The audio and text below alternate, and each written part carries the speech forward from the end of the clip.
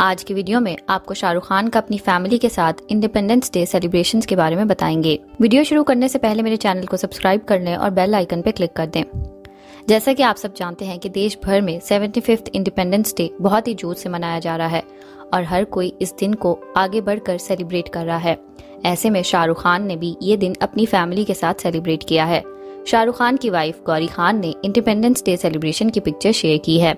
इस पिक्चर में देखा जा सकता है कि शाहरुख खान और उनकी वाइफ गौरी खान के साथ उनके दोनों बेटे एब्रम और आर्यन खान हैं। और पीछे तिरंगा लहराया हुआ है और उन्होंने ये पिक्चर तिरंगे के साथ शेयर की है।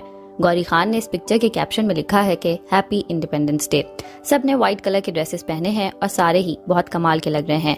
सुहाना खान की बात करें तो सुहाना खान अपनी फ़र्स्ट मूवी की शूट में बिज़ी हैं। इसी कारण वो इस फैमिली फ़ोटो का हिस्सा न बन पाई। शाहरुख खान के लिए ये दिन कुछ ज़्यादा ही इम्पोर्टेंट है, क्योंकि शाहरुख खान पिछले कुछ समय में काफ़ी डिफिकल्टी से गुजरे हैं और इन सारी प्रॉब्लम्स में आर्यन खान ने भी बहुत कुछ सफ़र किया है। आर्यन खान लगभग एक महीना जेल में गुजार कर आए थे, जिससे सारी फैमिली काफ़ी ज़्यादा टूट चुकी थी।